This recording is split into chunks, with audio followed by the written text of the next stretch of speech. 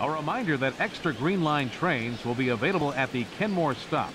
Or if you plan to use the D branch, use the Fenway stop.